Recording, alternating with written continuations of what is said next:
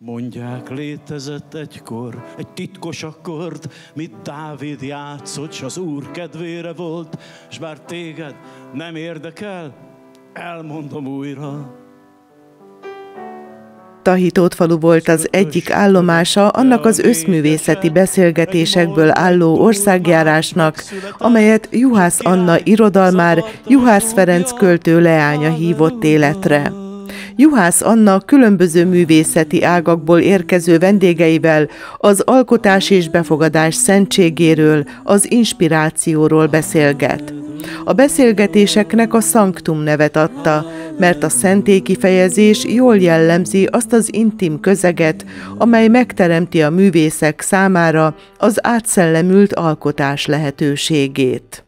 Egy fogalmunk van, amilyen összefoglaló, ez pedig a szanktum, ami ugye ki is van írva a plakátokra, különböző módon tudjuk értelmezni, akár úgy, hogy ez egy saját tér, egy saját hely, akár úgy, hogy ez egy szent hely, valami szentség, és azt gondolom, hogy ahogy már így elindulunk ezen az úton, és elkezdünk azon gondolkozni, hogy van-e a mi életünkben szanktum, akár a saját otthonunk, akár egy másik embernek a tekintete, akár bármi, amiért dolgozunk, akkor már talán mindannyiunkban van egy válasz.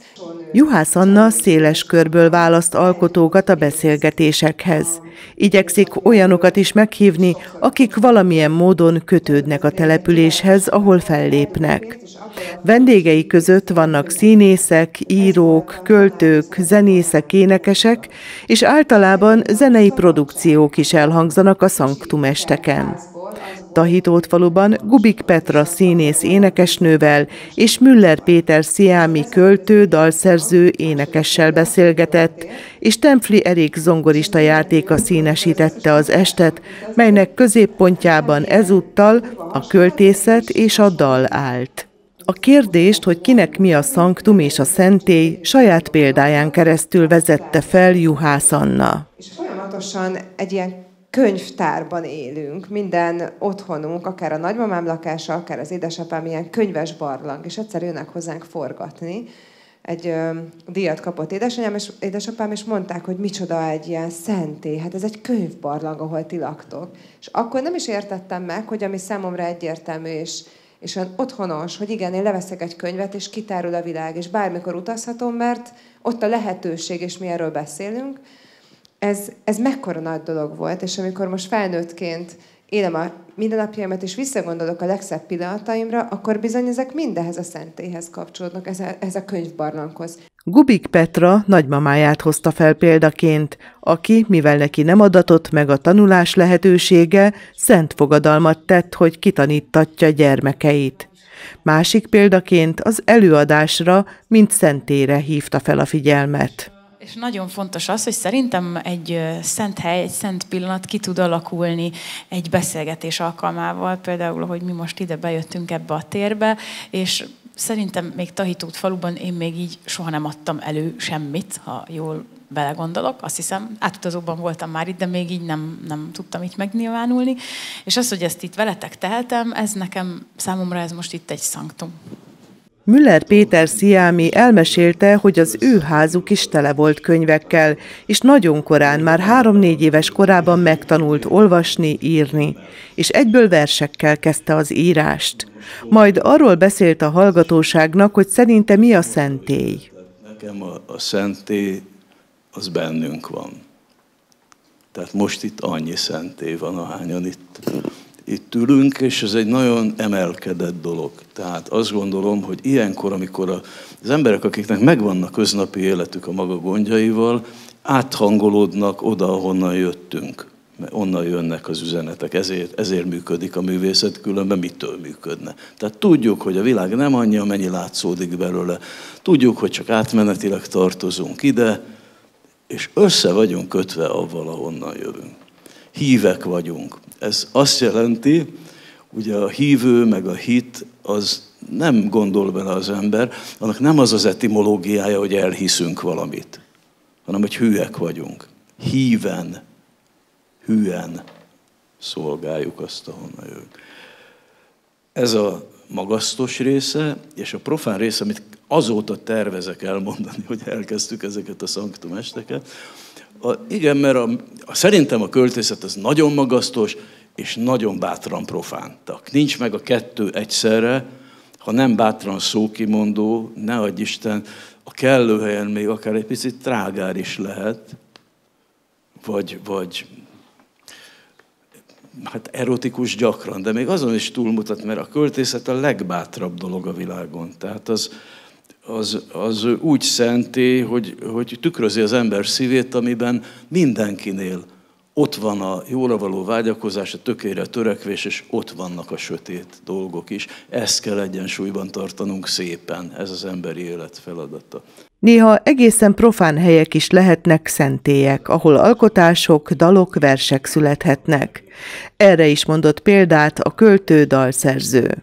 És amikor elkészült, hát még nem csatlakozott semmilyen gödörhöz, hanem ott volt a diófa alatt, és rettenetesen sütött a nap, és én beültem ebbe a frissen ácsolt fenyőfa dobozba, és mindig van a zsebembe cerka, leültem, és nem hülyeskedek, egy nap alatt alvás nélkül megírtam két nagy lemeznyi dalt, és azok a legjobb dalok, amik azóta születtek. A beszélgetés ezután a siker a hivatás felé terelődött. A művészek arra a kérdésre válaszoltak, hogy mi volt az első munkájuk, amiért fizetést kaptak, és mit jelent számukra a siker. És valahogy én ezt tudom, ezt tudom mondani, hogy, hogy az, hogy valaki a pályán tud maradni manapság, és pláne mondjuk még ebből fent tudja tartani magát, mm, én szerintem ez már siker. Juhász Anna kérésére egy a témához kapcsolódó adivers következett, amelyet Gubik Petra énekelt el Templierig zongora kíséretével. Szeretném, ha szeretnének, s lennék valaki, lennék valaki.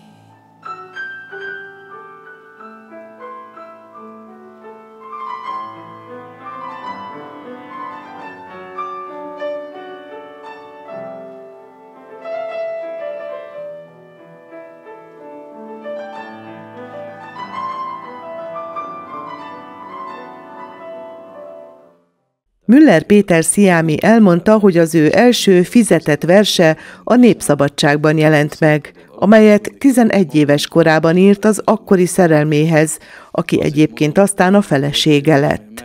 A következő kérdés kapcsán, hogy mi volt a legnagyobb kitérő a művészek számára az életük folyamán, a dalszerző elmondta, hogy ő a cirkusz világába is elkalandozott. Az egyik szakmám. Tehát, hogy én artista suliba jártam, bohóc szakra, egy nemzetközi bohóc osztályba. Sose akartam bohóc lenni, de hát az vagyok, úgyhogy olyan nagyon nem lehet mellé nyúlni. Többek között otthoni ételek, ízek kerültek még szóba, amelyekkel kapcsolatban Gubik Petra mesélt arról, hogy milyen sokat jelentenek ezek számára.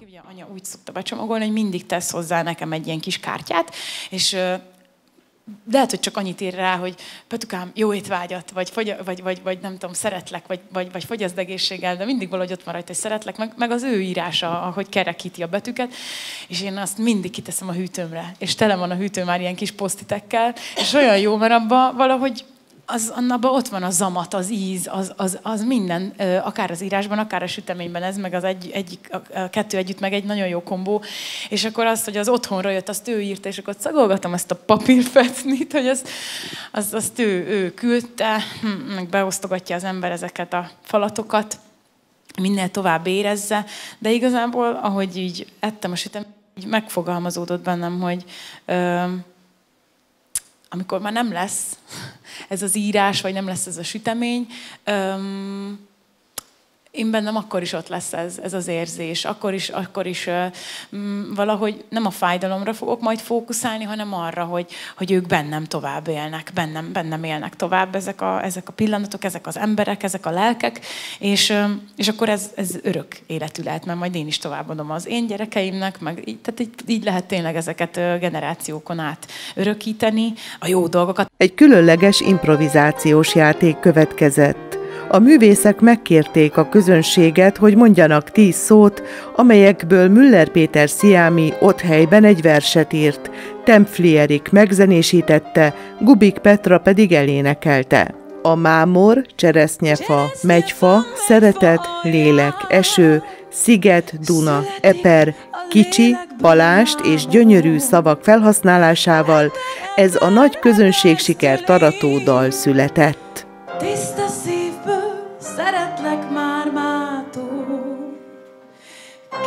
Sziget itt a Dunán, Palást rajtunk az eper falombja. Ezt már a hitót faluban, bárki első szerelemnek mondja.